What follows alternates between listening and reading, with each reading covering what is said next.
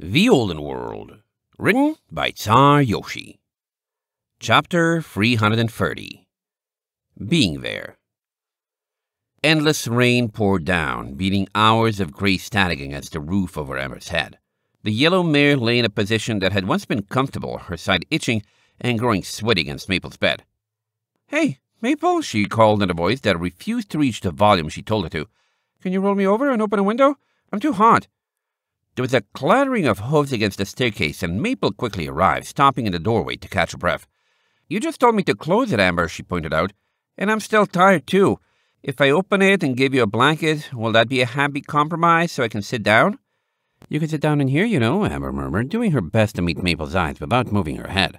Mostly on board. Maple trotted to the window with a huff. Then you should know how I feel. I can't lay around all day, Amber. I need to walk around and do things. I feel like need to walk around and do things? Like roll me over and fix the window? Amber, Maple moaned. It's not like you want to go anywhere with this rain, Amber remarked. Unless you want to go look for Willow and Starlight, but they're probably holed up inside somewhere too. So sit in here and talk to me. I'm bored. You, Maple muttered, grabbing Amber's body with her forehooves and awkwardly turning her on her other side. I like this because of your own fault. Here, she smoothed out the bed ruffled on her friend's coat and sighed, flopping down at the edge of the bed and bouncing slightly. I'm still trying to find out what I want normal to be now that I'm living in Riverfall with all my friends and Starlight and have Ironridge in my past. I don't know what I want to do with myself, but I don't think full sitting my best friend is it. Amber folded her ears, putting on the most helpless expressions she could. Tuck me in? You're enjoying this too much.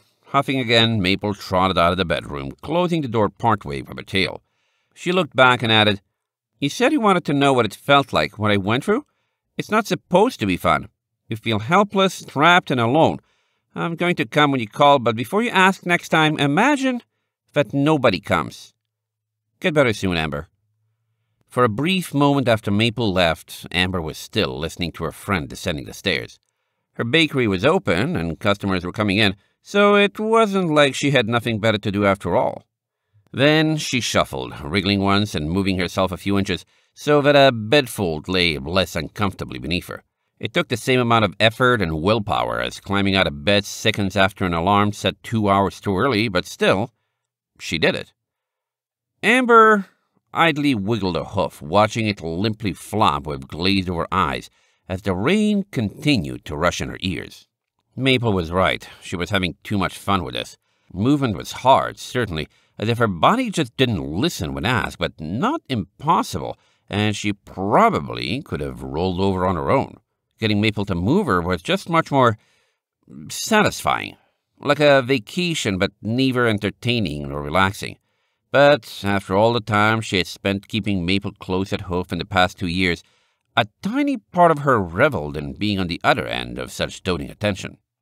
But Maple's condition had been serious, and making light of it or giving the impression that she didn't take it seriously, Amber felt a tiny spark of guilt in her heart that exploded and spread through her veins like lead, and within a second she found her hoof was dead and she couldn't even flick her ears.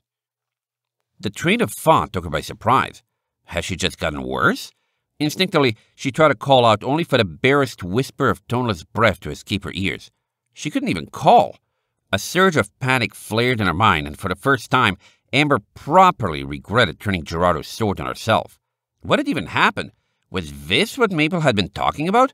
She should have taken everything more seriously not tried to enjoy it. To enjoy it? Amber tried to frown, pushing aside her feelings and trying to think rationally. She knew her condition had just worsened, but had done so at the precise moment she regretted it happening. And Maple knew what it was like, so if she was supposed to be able to roll over on her own, wouldn't Maple have known and told her she could do it herself? Maple had said the sword's paralysis felt exactly the way she once had, but it couldn't actually be tied to the victim's emotions, could it? Amber lay in place, breathing, trying to clear her mind, making testing her idea her main priority. Gerardo's sword was clearly bad news. It had hurt Maple, and getting cut by it was something she suddenly regretted. But she had to not feel bad about that. If she hadn't used it on herself, she wouldn't have had a realization about how it worked, so that she was stuck was a good thing.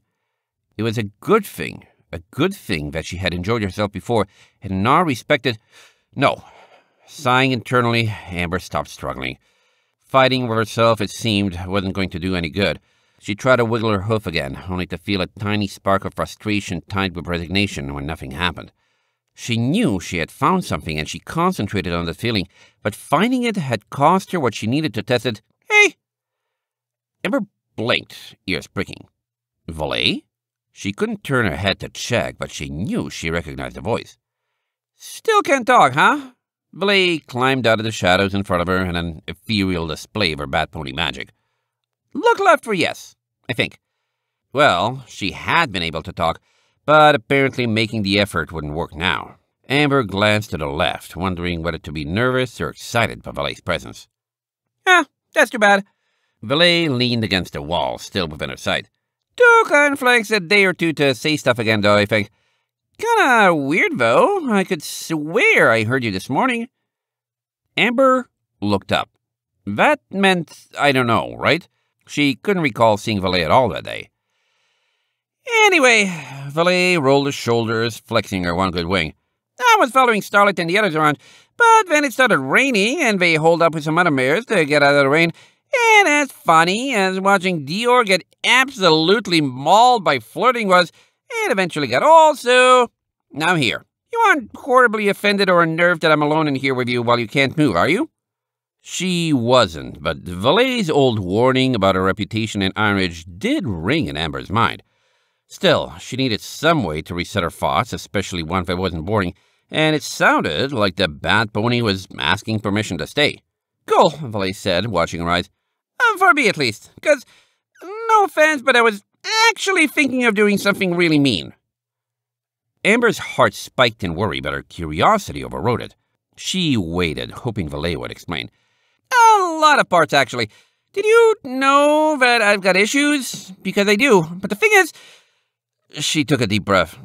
I trust you. I don't care who or what you are or what you've done. I'll be your friend and give you as many chances as you need and blah, blah, blah. That's Ironflux. She's awesome. And really, really gullible, naive, and easy to take advantage of, but still exactly what I needed. I tried to warn her. I told her over and over again that I really do have baggage she doesn't want to deal with, and she didn't want to deal with it. Didn't want to hear it, told me to knock it off, and to be honest, I probably deserved it since I was being super edgy about it. But still.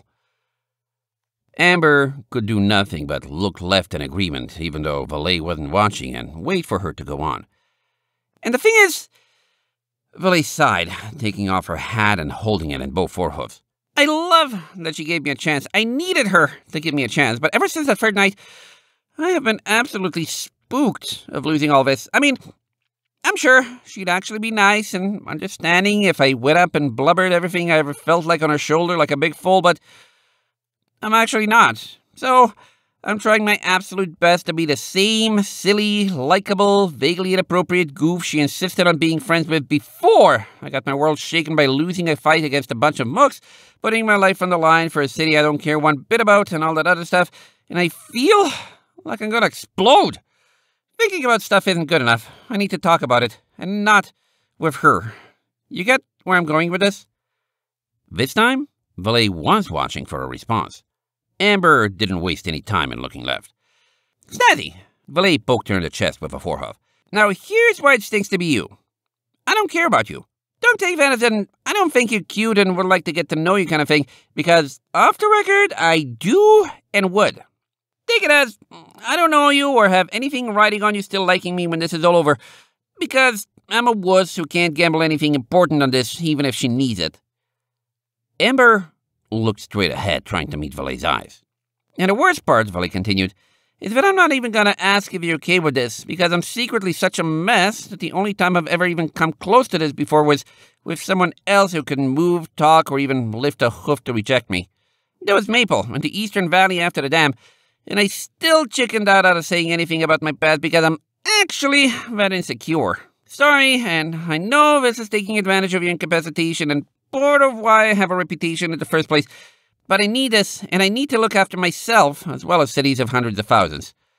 She hesitated. You're okay with that, right? Valet needed her helpless?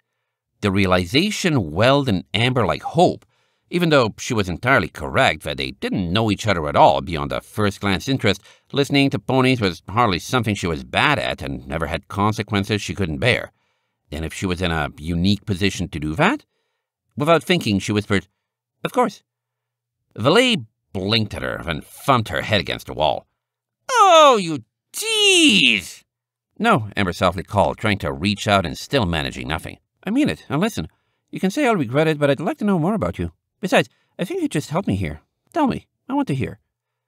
You're asking for me to completely unload on you. Valet gave her a flat stare. Are you sure you don't like the cute and cuddly me better? Like, absolutely sure? Because I told you, Maple is ticked about me having baggage to the point of telling me not to talk about it. I'll make you understand if you want me to, Amber promised. But tell me a story, especially if you need it to be told. Please, I'm good at listening. Valet raised an eyebrow. You know what you're asking for, right? This is probably going to end in me crying into you like a pillow. I'm serious. Last warning. Amber gave a smile of determination. And weren't you going to tell me about this, whether I was okay with it or not? There was a second of silence, and then Valet growled, lowering her head and slumping onto the bed. Fine, she said. It all started. You see this? Amber blinked, watching as she held up the golden pendant around her neck. It's pretty, she agreed. I noticed you wearing it earlier. Is it an heirloom? Something like that, Valet sighed, laying down. It all started on a night eight years ago in a remote colony in Yakyakistan when there was a meteor shower that brought moonglass to the world. End of chapter 330.